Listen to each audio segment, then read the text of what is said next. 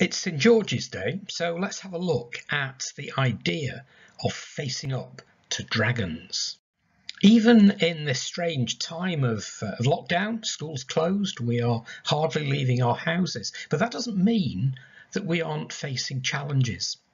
Some of these are, well, they're fairly small, really, but others, even within our own homes and families, are actually rather big problems that we face. Dragons, that we face. Usually can't avoid these dragons, so we've got two choices either take them on to defeat them or run away and hide. Second option really doesn't often work because these dragons tend not to go away.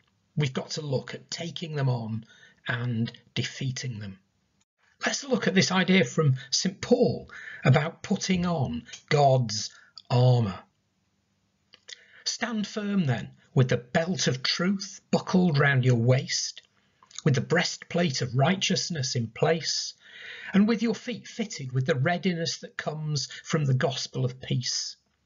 In addition to all this, take up the shield of faith with which you can extinguish all the flaming arrows of the evil one.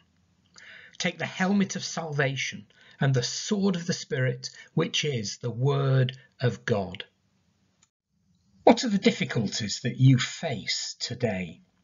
And how could the armour of God help you to defeat these dragons? What is it that we need to put on?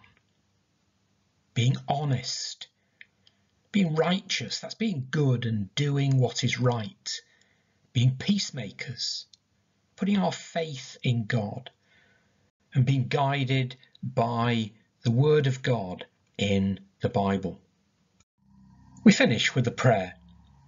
Loving Heavenly Father, help us today to put on your armour, the belt of truth to protect against lies and deception, the breastplate of righteousness to protect from temptations we battle, the gospel of peace so we are ready to be peacemakers wherever we find ourselves, the shield of faith that will extinguish all the threats hurled our way, dark thoughts, temptations, anxieties. The helmet of salvation, which covers our thoughts, reminding us we are your children, forgiven and set free. The sword of the Spirit, your word given to us in the Bible to guide us in life. Lead us in the peace and freedom of your Spirit and not be overcome with fear and anxious thoughts.